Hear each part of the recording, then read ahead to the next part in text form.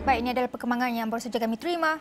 Astro Malaysia Holdings Berhad Astro mencatat prestasi kukuh pada suku kedua tahun kewangan 2025 dengan pendapatan meningkat 2% suku ke suku kepada 787 juta ringgit. Ia didorong peningkatan pendapatan langgangan dipacu acara sukan utama dan permintaan berterusan bagi perkhidmatan jalur lebar.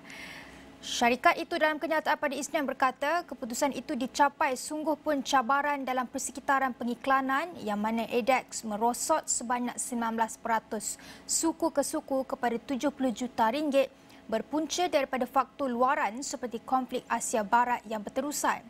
Dalam masa sama, reputasi Astro terus mengukuh sebagai Home of Sports Malaysia sekaligus menguatkan Astro sebagai destinasi kandungan premium acara sukan.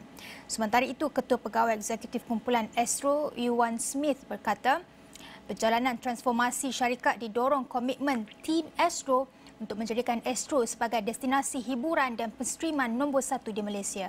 Laporan penuh di astroawani.com.